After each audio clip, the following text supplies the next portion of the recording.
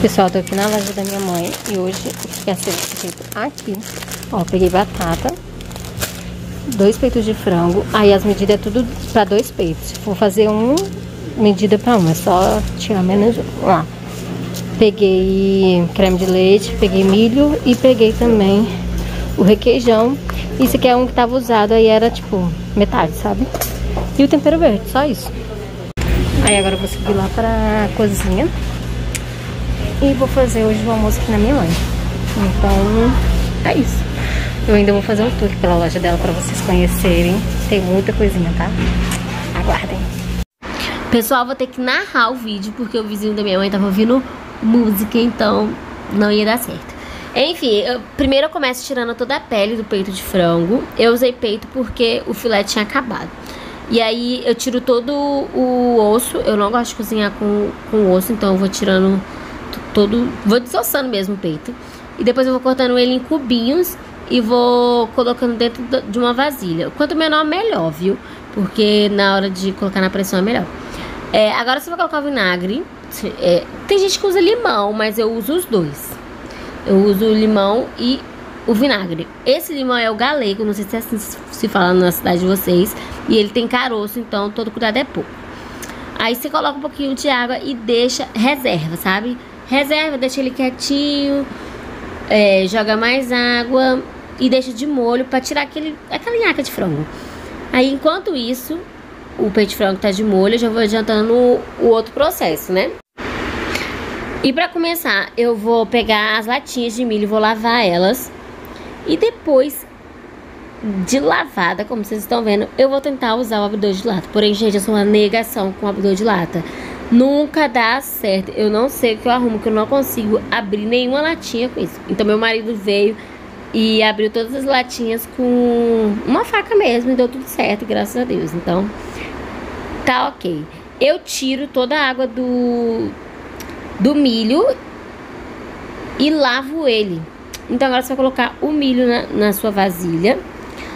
Também vou abrir todos os cremes de leite.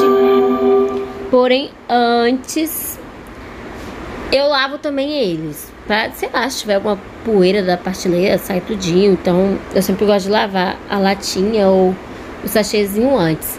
E agora eu vou cortar todos eles com a tesoura.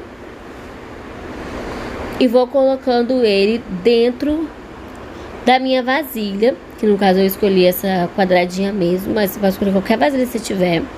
Gente, eu amei essa marca de creme de leite. Não tô sendo patrocinada, né? Mas queria.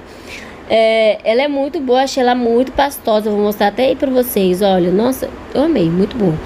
E agora também vou pegar o requeijão e vou colocar também nessa misturinha. Gente, essa mistura faz uma diferença, vocês não têm noção. É muito, muito bom. Fica muito gostoso.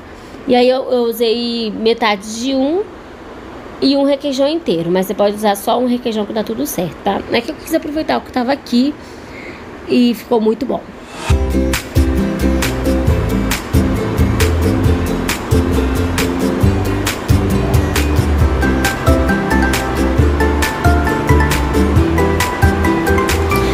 Agora, depois de limpar a colher, eu vou tirar a sujeira, né? E eu vou voltar peito de frango novamente. Eu vou lavar ele, tirar toda aquela água.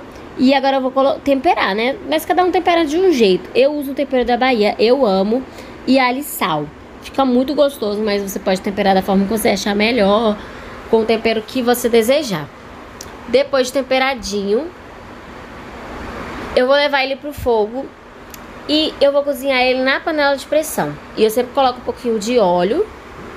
E depois eu coloco coloral para dar uma cozinha, né? Tem gente que usa safrão e você pode usar o que você desejar eu usei o coloral, que é uma coisa que eu amo. E agora você vai jogar o frango já temperado.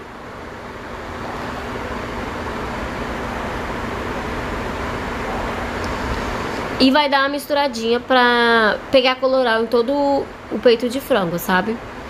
E fica com aquela cozinha maravilhosa que eu amo. Eu não gosto de comida branca, pra ser sincera. Eu gosto da comida mais coloral. Agora eu peguei o mix, mas você pode usar um triturador ou você pode usar um liquidificador que dá super certo. E você vai bater aquela misturinha, lembra que a gente fez? Fica muito bom. Minha irmã veio e me ajudou e bateu tudo no mix.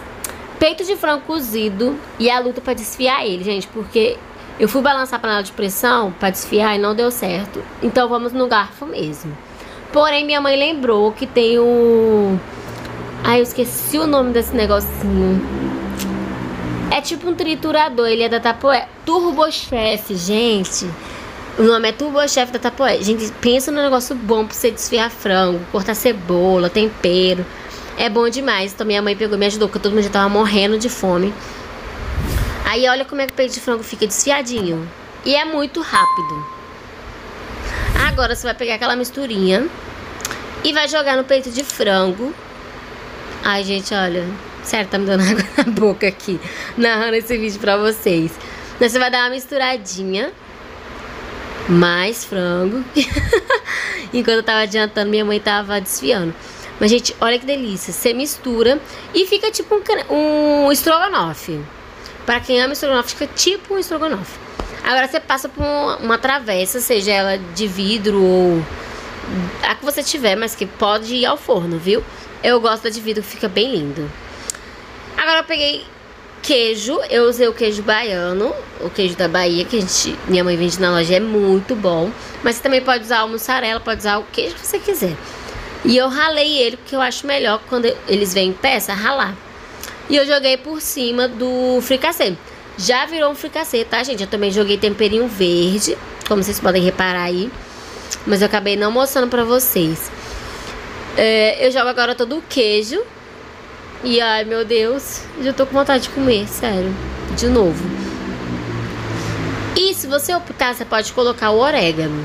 Eu coloquei porque eu amo orégano, então você pode colocar ou não, não tem problema nenhum. Se você quiser colocar na mistura também é azeitona dá super certo, tá? Agora eu levei pro forno e deixa gratinar. Eu não esperei gratinar, gratinar, sabe? Porque tava todo mundo com muita fome, então a gente não tava com muita paciência, não. A gente esperou só o queijo dar uma derretida pra gente já partir pro almoço, que a gente tava com muita fome.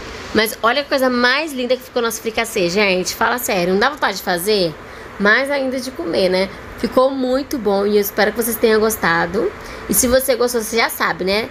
Deixa o like, se inscreve no canal e ativa o sininho de notificação para não perder nem um vídeo. E olha isso, gente. Essa cremosidade que fica. Ai, fica é vida. Um beijo e até o próximo vídeo.